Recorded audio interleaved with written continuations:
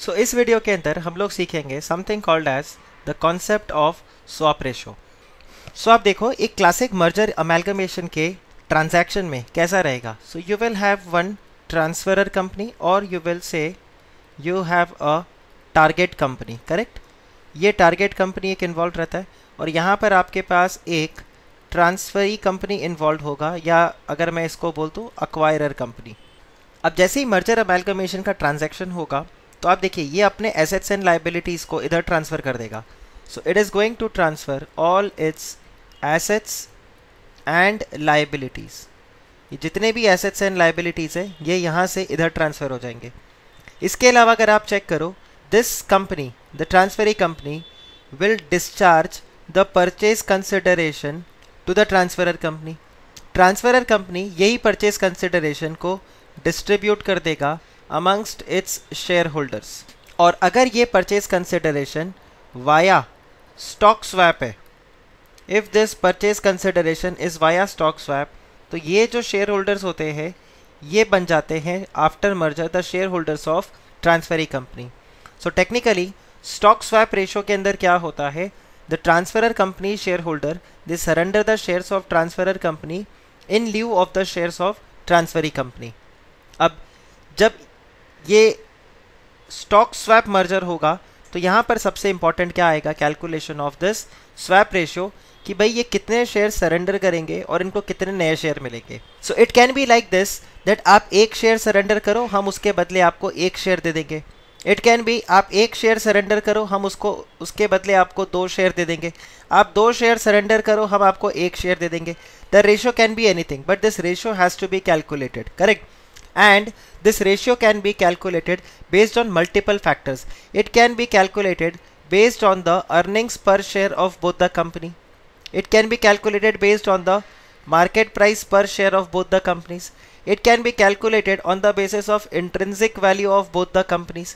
It can be calculated on the basis of PE ratio of both the companies or it can be in the combination of all. वो ऐसा बोलेगा 25 percent 25 percent 25 percent 25 percent सबको बराबर weightage देके आप उसका weighted average calculate कर लो। या फिर सबसे अच्छा क्या रहेगा क्वेश्चन में अगर आपको वो गिवन ही हो, तब तो कोई प्रॉब्लम ही नहीं है। But whatever it is अगर वो क्वेश्चन में गिवन नहीं है और आपको इनके बेसिस पे स्वैप रेशो को कैलकुलेट करना है तो आप अपने दिमाग में एक सिंपल सा चीज़ रखना that the swap ratio will always be target company divided by the acquirer company या आप इसको यूँ कह लो transferor company divided by the transferee company या आप इसको ऐसे बोल लो it will be the selling company divided by the buying company आप कुछ भी बोल लो, ये स्वाप रेशो का कैलकुलेशन रहेगा आपका। तो आप देखिए, इसी ट्रांजैक्शन को मैं वापस आपको दिखाता हूँ। So you have a transferor company which is a target company वो अपने एसेट्स और लाइबिलिटीज़ को ट्रांसफ़र कर रहा है टू द ट्रांसफरी कंपनी या अक्वायरर कंपनी ये बदले में परचेज कंसिडरेशन इशू करेगा। और अगर स्टॉप स्वैप के थ्रू परचेज कंसिडरेशन पे किया जा रहा है the share holders of transferor company will surrender the shares of transferor company and in return the transferee company will issue then its own share to the share holders of transferor company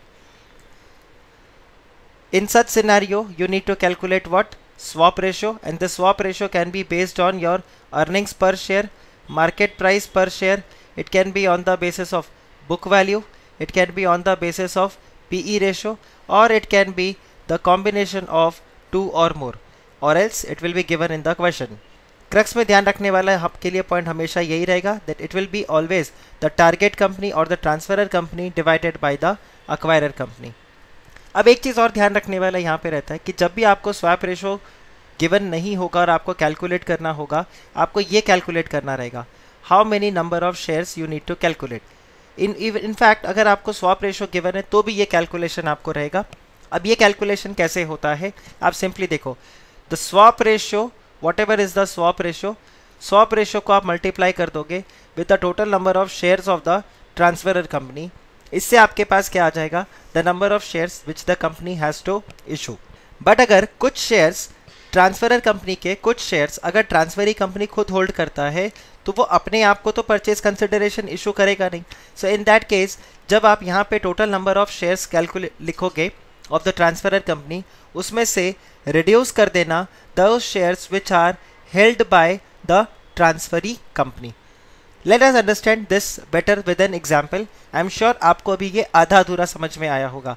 फ़िलहाल, हम पहले एक calculation करते हैं इस part के लिए, और दूसरा कैलकुलेशन फिर हम करेंगे इस वाले पार्ट के लिए। विद द सेम एग्ज़ाम्पल जब ये इन्फॉर्मेशन ऐड होता है तो।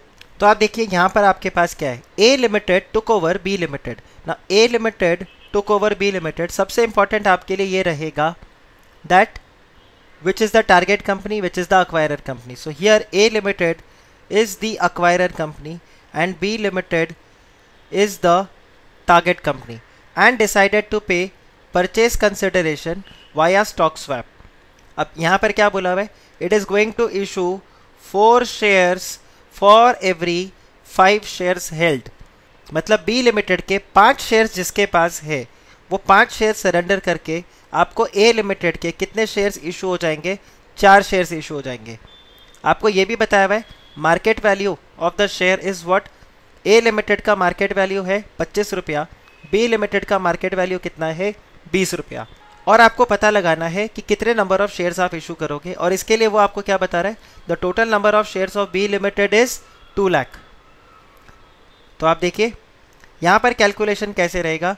You get ratio what you have अब आप देखो, इस क्वेश्चन के अंदर आपको स्वाप रेशो कैलकुलेट करने की ज़रूरत नहीं है because the swap ratio is already given so यहाँ पर किस तरह से जाएगा calculation so you are going to get four shares of A limited correct तो मैं यहाँ पे इसको फोर ए लिख रहा हूँ। You are going to get four shares of A limited for every five shares of B limited that you have now, how many number of shares you have in B limited? You have 2 lakh shares. So the number of shares that you need to calculate will be, this will be 4 divided by 5 into 2 lakhs. और आप देखिए यहाँ पर आपके पास जो value निकल के आएगा it will be one lakh sixty thousand shares of A limited that will be issued as purchase consideration अब आपको अगर ये पता करना है what is the value of purchase consideration तो आप क्या बोलोगे? ये जो एक लाख साठ हज़ार शेयर्स आप इशू कर रहे हो, इसका मार्केट प्राइस कितना है? पच्चीस रुपये तो जब आप इसको मल्टीप्लाई कर दोगे तो आपको पता चल जाएगा what is the value of your purchase consideration so this will be forty lakh rupees correct अब देखिए। ये जैसे मैंने आपको बताया। आपको यहाँ पर इस क्वेश्चन में स्वैप रेशो गिवन था? Into total number of shares आपने मल्टीप्लाई किया तो आप देखिए आपके पास। ये स्वाप रेशो आपको गिवन था, इसको आपने मल्टीप्लाई किया with the number of shares तो आपके पास निकल के आ गया how many shares the transferee company is going to issue but अगर आप चेक करो now let's read this again if some shares of transferor company or the target company is held by the transferee or the acquirer, then we need to those shares while finding out the total number of shares to be issued. अब इसी same question के अंदर मैं एक और information आपको add कर देता हूँ। और अब मैंने क्या बोला है? Exactly the question is same वही A limited took over B limited they are going to issue four shares for every five shares held market price of the companies are twenty five and twenty और आप देखिए total number of shares of B limited is what two lakh इस बार ये वाला part इसमें एक नया ऐड हो गया। और यहाँ पर वो क्या बोल रहा है? Out of which twenty thousand shares are held by A limited तो अब ये जो दो लाख शेयर्स है इसमें बीस हज़ार शेयर किसके पास है? ए लिमिटेड के पास ही है। सो so, टेक्निकली उसको जो परचेज कंसिडरेशन पे करना है वो खाली एक लाख अस्सी हज़ार पे पे करना है। बिकॉज़ अगर मैं ये दो लाख का ब्रेकअप करूँ सो so इसमें एक पार्ट आ जाएगा one lakh eighty thousand which are held by public और technically other than A limited and this twenty thousand is held by A limited only तो क्या ए लिमिटेड खुद को परचेज कंसिडरेशन पे करेगा? नो सो यहाँ पर मैं वही लिख रहा हूँ। We do not pay P C to our sales we do not pay P C to our sales इसी को आप दोबारा से लिंक करना। लिंक विथ सेक्शन 232 जहाँ पर हमने डिस्कस किया था ट्रेजरी स्टॉक के बारे में। करेक्ट तो ऐसे सिचुएशन में आप परचेज कंसिडरेशन कैसे निकालोगे? Swap ratio and other calculations are still going to remain same and it will be again you get is to what you have so you are going to get 4 shares for every 5 shares right now you have how many shares you have 2 lakh shares less 20000 so at present you have 1 lakh 80000 shares so अभी आप यहाँ पर जब cross multiplication करोगे तो आपको निकल के आ जाएगा number of shares to be issued अब ध्यान रखना आप हमेशा सबसे पहले क्या कैलकुलेट करोगे? Number of shares to be issued और फिर पीसी का total amount so this will be four into one lakh eighty thousand divided by 5 so they are going to issue 1 lakh 44,000 shares और एक शेयर का value कितना है? A limited के एक शेयर का वैल्यू है ट्वेंटी फाइव रुपीज़ तो आपका टोटल परचेज कंसिडरेशन जो निकल के आएगा this will be rupees lakhs clear is this clear ये वाला पार्ट अब आपके मन में एक और चीज़ आ रहा होगा कि, सर, आपने तो जो फॉर्मूला बताया था, उस फॉर्मूला के हिसाब से कैलकुलेशन कैसे होता था?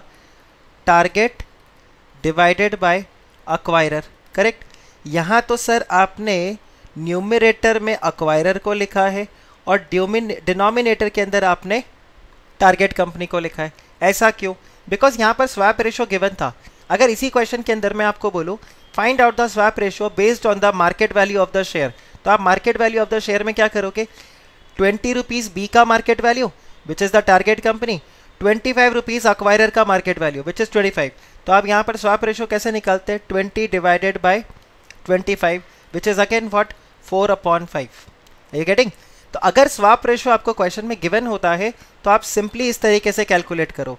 बट अगर स्वाप रेशो आपको क्वेश्चन में नहीं गिवन और आपने बैठ के उसको कैलकुलेट करना है in that scenario your swap ratio will be calculated by this method which is target divided by acquirer to get better understanding on this concept just go through the coming videos in which I will be discussing और where we will be calculating the purchase consideration in the number of share to be issued based on this concept itself.